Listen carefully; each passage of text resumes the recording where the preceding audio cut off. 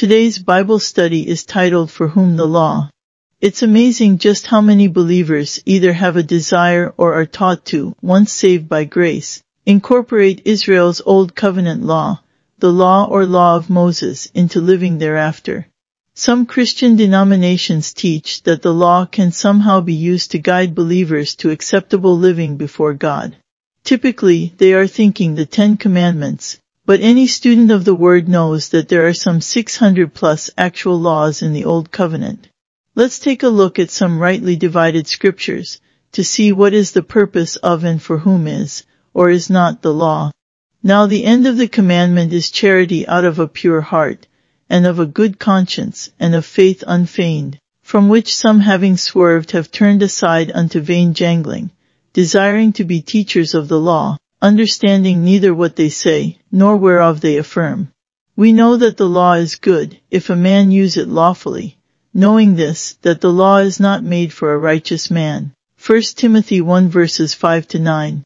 The takeaway for these verses today is to know. Number 1. The law is good, if a man use it lawfully, and number 2. The law is not made for a righteous man. Let's dig in a bit. Just who is a righteous man? Well, Paul cleared that up in 2 Corinthians 5 verse 21, stating, For he has made him, Jesus Christ, to be sin for us, who knew no sin, that we might be made the righteousness of God in him. So, anyone who has believed the gospel of grace, 1 Corinthians 15 verses 1 to 4, and by grace through faith, Ephesians 2 verses 8 to 9, been saved is a righteous man, and therefore the law is not made for him. And just in case these verses are not enough, Romans 6 verse 14 clearly states, For sin shall not have dominion over you, for ye are not under the law, but under grace. So, what purpose does the law serve and not serve in this dispensation of the grace of God? One need only look to Romans 3 verses 19 to 22.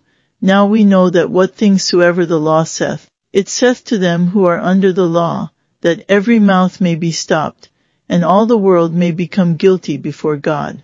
Therefore by the deeds of the law there shall no flesh be justified in his sight, for by the law is the knowledge of sin. But now the righteousness of God without the law is manifested, being witnessed by the law and the prophets, even the righteousness of God which is by faith of Jesus Christ unto all and upon all them that believe, for there is no difference. Enough said, the weight of scripture clearly instructs that the old covenant law is not for members of the body of Christ today. And those that would seek to put you under the old covenant law seek only to control you of such beware. Believer, live in grace. Thank you for listening to today's Bible study.